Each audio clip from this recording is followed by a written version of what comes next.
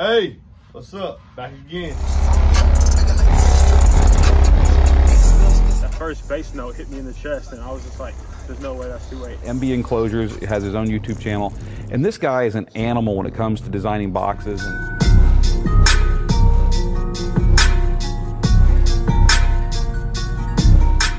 Hey, what's up? It's your boy MB back with part number five of this unboxing of JL Audio Sub.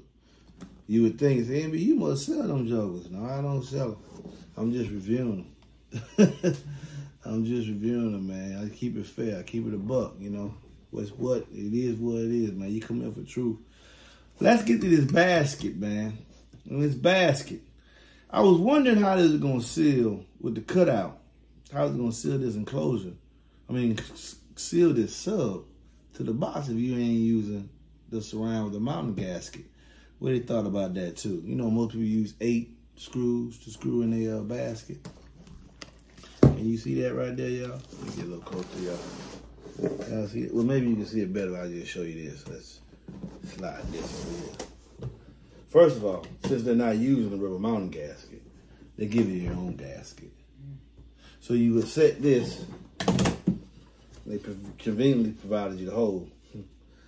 You set this on top of the hole and then set your screws in. This particularly help you guys that like to use T-nuts. If you use this template and there's gaskets, you can get your T-nuts exactly where you want to be at to position this driver in. Think of it is you can't use no other drivers with it because this is part to to a basket another point of this feature. This is by Toy Toy Basket. And if you notice that from the spider landing to where the surround is, I mean to where the cone is, they're substantial.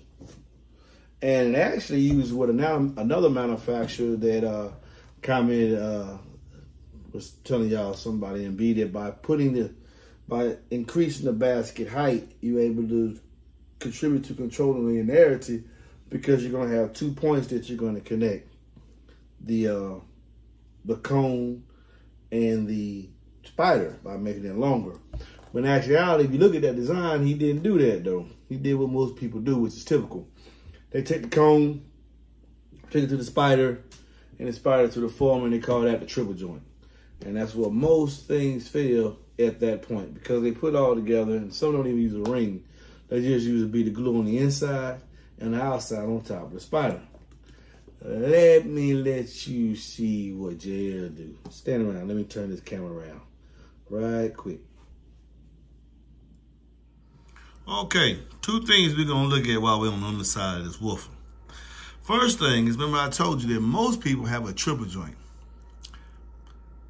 The triple joint is the cone, the surround, no, the cone, the spider, and the former coming together as three pieces. That's a triple joint. Well, there's two manufacturers that don't use that, JL is one of them. And this enables them to get a greater X-Max from the top piece. And they don't have a triple joint. What they actually have, I guess you could call a double joint. Because what they use is a collar. If you see right here, put my finger right there. I like this open air design, this basket, toy toy basket. This collar is the former. This is the former. And as you can see, the former has holes on it. It also has holes right at the top plate that holds up and down this form is aiding getting the air on the inside of the voice coil. But what I want you to pay attention to is this collar. This collar is machine etched. So it has real fine lines so that the adhesive will take properly to the former and you won't have any separation at the what most, well, most people would call a triple joint, but actually just, it's just a double joint because it's only this spider and this former coming together. But in actuality, you could technically call it a triple joint because the J Audio 8W7 utilizes two spider. You see one, but there's another spider laying on this basket right below, starting right here. But this is technically at the triple joint, or technical joint, double joint, whatever you want to call it, is reinforced as laser etch so that they can get more of the adhesive, more surface area for a tighter bond. They also do the same thing. You have a collar here, if you look and zoom in on the video so you can see where the cone and the former takes place again. And there's a space between this too. I know y'all, hey man, the uh, such and such does the same thing.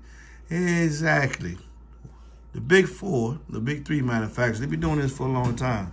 So they know the benefits of separating the cone from the spider and giving you more X mechanical, which actually give you a little bit more output. Now, another thing I want you to look at when you look at this basket is at the bottom, and this is what they call the elevated platform cooling, which is commonly used today. They call it spacers. They put spacers on the basket. Well, that's because they use an open source basket, and then they get what I would call nuts and put it together. Spacers, because they can't afford what somebody like JL can do. And what that is, is they manufacture their frame. They manufacture the frame on their driver with the uh, raised, uh, what do you call these, legs into the basket so that you get these slits all around the bottom of the basket. That, with the shape of the, the, basket on the inside, forces air directly on the voice coil with the pumping action of the piston. Cooling feature, besides this open air design with air with holes here. You see the holes there on the foam itself to give air on the inside of the voice coil. I wish we could see the wires on the voice coil, but the voice coil is listed to having 19 millimeters of X-Max.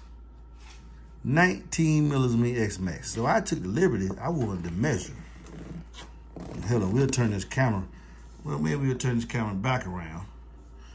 I wanted to measure exactly, see if I can do it here.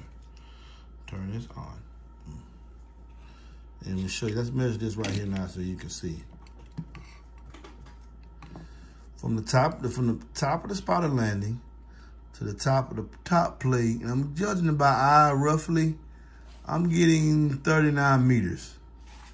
So plus or minus one, let's say 38. y'all see what I see, okay? Now, the X-Max listed on this driver, let's turn this camera back around. So we got 19 millimeters here from the top plate, from the, from the spider landing, from the top spider to the top plate which justifies as having 19 millimeters X-Max. So if 19 millimeters X-Max is this, let me show you 19 millimeters. Uh, that's 19 millimeters. That means this driver can go forward 19 and back 19 from here. Back 19, forward 19. Back 19, forward 19. Well, even when it goes back 19, we still have an additional 19 millimeters of clearance because we have 38 millimeters from the top of the spider landing to the top of the top plate. Hmm. But we're getting gaining even more X mechanical. Well, no, not getting any more X mechanical. What I was told by the manufacturer, the reason why this is done is so that you don't have the cone limiting using your full excursion on your surround. Ooh, I'm gonna poke that. By having it connected to the triple joint. Let me turn the camera back around. So, I've showed you the distance from the spider landing to the top plate is 38. The list of X-Max is, nine, is 19. Totally believable. Totally believable. I wonder what X mechanical is. Is it twice of the 38? Or is it half of the... No, it can't be. I wonder. I just wonder what it is. But we got plenty of room for a throw. Oh, there's another thing I wanted to show y'all on this woofer. Hold on, let me turn this camera around one more time. Yes, this is what I wanted to show you. I, you've noticed that, there's no tinsel lead sold into the Spider. But it has speaker lead connections. And what JL uses is called a lead wire system. See, JL Audio says that if you put the tinsel leads inside the, the, the, the Spider itself, then you limit the elasticity of the surround. And if you're not limited, then you've accounted for it by putting, you know, some put the the leads in over the top. It's it's very common. Pretty much in every fledgling audio company today, they tell you how thick their tinsel leads are and how they sold them on top of the uh, on the spider, so and the glue they use and the blah blah blah blah blah whatever you want to say. It stops from slapping of the cone against the the, the leads. Well, JL accounted for that with the geometrical shape with their lead wire system. As you can see, the tinsel leads jump from the terminal connections right to the voice coil. Now, what I want you to see is that there's no possible way. There you go. That's a good shot. As the cone moves back and forth, that lead wire stretches down. I moved it. Man, they has plenty of clearance, never ever to hit that cone. And by doing this jumping system we here with the lead wire system, this lead wire system, by utilizing that, there's nothing inside the spider to limit it from performing its function, which is keeping the voice coil linear over the pole piece. Ain't that ingenious? That's oh, that's a, that's a patent design. They said, why a lot of more manufacturers, why are not a lot of other manufacturers using it? It's costly. It's costly. A lot of features I've shown you in this Wolf is driver justifies the $700 price tag because you see these, the, the triple joint, the collar at the uh, the collar at the spider in the former, the collar at the cone in the former, the lead wire system, the, the, the, the engineer basket, the overall surround. All these things cost. They're not open source. They're not really available. It's a manufacturing process, but each and every last one of these comp components leads to why this woofer was ahead of the curve 22 years ago. Let me turn this camera back around. So, I've showed you the former. I've showed you the connection at the former and the spider and the cone and why. Uh, I've showed you why they, how they use their tinsel leads inside the lead wire system the partory basket, the mounting seal, so you can seal it securely, the basket, to the, the mounting baffle. I've also showed you the partory basket, the cooling of the, of the basket is open source design. 22 years ago. And we still ain't got to the motor. Stay tuned.